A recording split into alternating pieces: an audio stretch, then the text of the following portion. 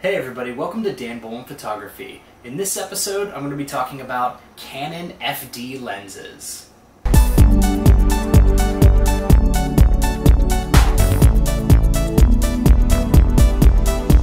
Now if you're interested in 35mm photography, uh, Canon is an option worth considering. And there are a lot of great lenses in the FD lens mount system that are available for pretty good bargains. Now, I know some people are going to comment like, yes, but what about Minolta and Pentax? Those lenses are much cheaper.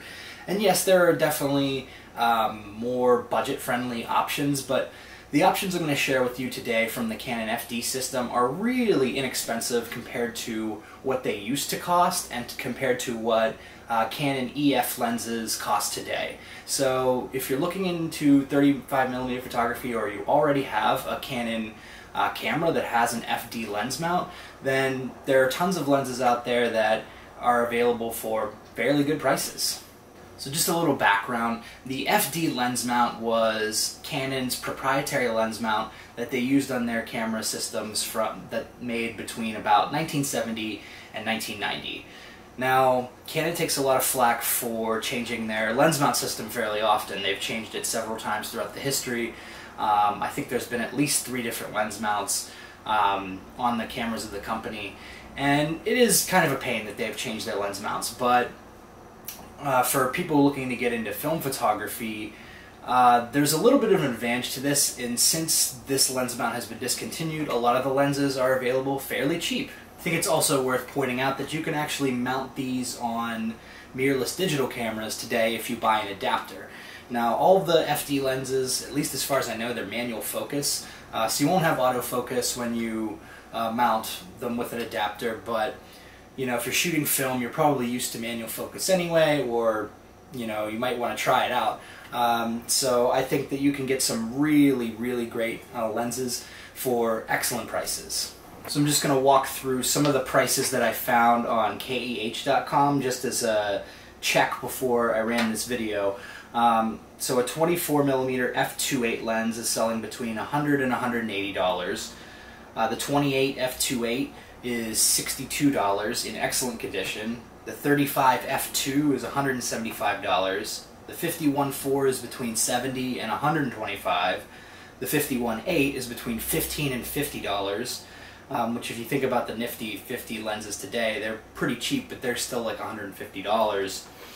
Uh, the 85 f1.8, which is one of my favorite lenses, is between 200 and 250 uh, 100 millimeter f4 macro is $80 and a 200 millimeter f4 lens is $37.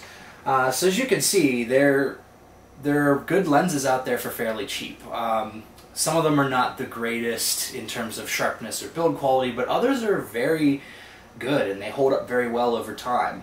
So the first lens I'm going to talk about is the 28 millimeter f2.8. Now I scored this lens for under $100 and I've really enjoyed it. I think it's um, pretty sharp, and I've been able to get some pretty good wide-angle lenses. It's a little bit cheaper than the 35 and 24 f2 lenses, so um, that's why I went for it. I'm not crazy about the 28 millimeter focal length. I would probably prefer something either a little wider or a little less wide, like a 35. Um, but it's been really good for like long exposure photography or doing cityscape type stuff uh, where I want a little bit of a wider scene. So this is a great lens to pick up if you're looking to do something along those lines. Now, the lens that came with the camera that I have, uh, the Canon FTB, this is the 50 f1.8, and this was basically the standard lens that came with this camera when you bought it as a kit. Um, you could also have bought that um, the 51.4 or 51.2 if you paid a little bit more money. Um, if you don't already have a 51.8, I don't necessarily recommend picking this up. I would, just because the 51.4 uh, is only a little bit more expensive, but you can find these in like bargain condition for around $15. And often if you're buying um, a Canon camera that has an FD lens mount, it might come with this lens. So if you've already got it, I would say go for it. Um, this is I haven't been impressed with this 50 millimeter lens. I mean, it's it's good, but it's not um, the sharpest or most amazing 50 millimeter lens I've ever used, and I think that you know there are other options if you're actually shopping for a lens. But if you have one already, I think it's it's a great lens. It's a great focal length. Now the next lens I'm going to talk about is actually my uh, favorite lens that I've used so far, film or digital, and this is the 85 millimeter f1.8.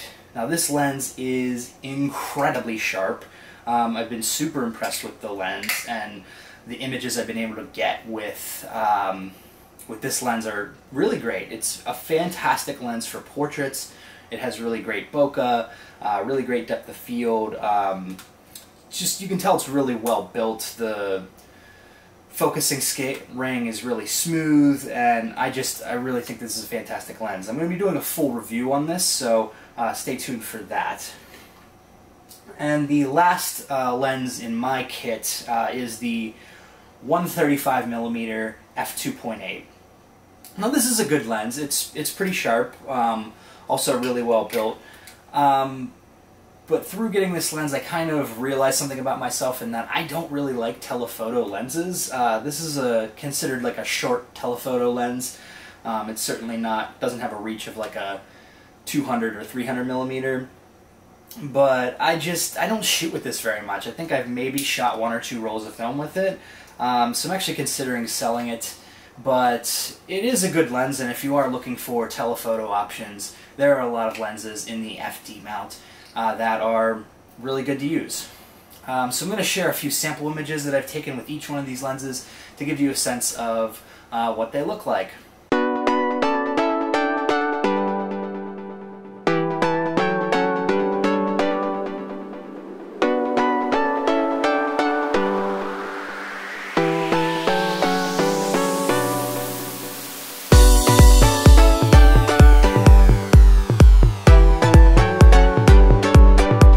There you have it. I hope you've enjoyed this video.